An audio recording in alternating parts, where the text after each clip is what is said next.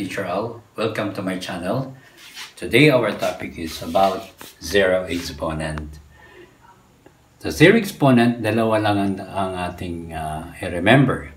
One, if the base of the exponent is non-zero, is equals to 1. If the base is 0, equals UND. UND means undefined, meaning there's no such answer. Okay, we have to simplify now number 1.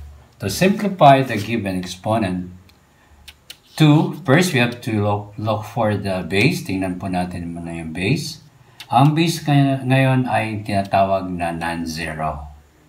So, since non-zero ito, tapos with zero exponent, our answer is 1.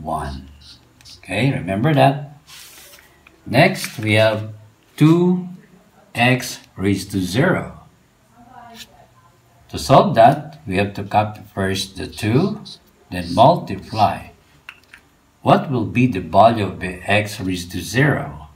Remember, since x is not a 0, this is non-zero, the answer is 1. Then we're going to multiply now. 2 times 1 equals 2. 2 is the final answer. The next number 3, the inside of the quantity of this exponent of this parenthesis is 5x is squared, which is belong to non-zero. And the exponent is 0. Remember in number 1, the base is non-zero. Our answer is 1. Okay, therefore the answer here is 1.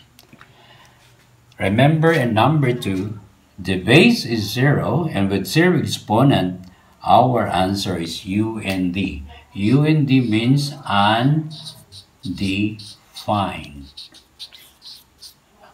Wala pong sagot dyan, according to our mathematician. Number 5. This is a division line. 3, copy first, then multiplication. The parenthesis means multiplication because we need to know what is the value of y with zero exponent. Since y is uh, non-zero, the answer is 1. And copy 4. Then simplify 3 times 1 equals 3 over 4. Final answer. Here, this quantity or the parenthesis inside of the parenthesis we have non-zero and we have zero exponent. Of course, our answer is according to remember number one, our answer is one. Okay. I hope you understand. Don't forget to subscribe, like, and share.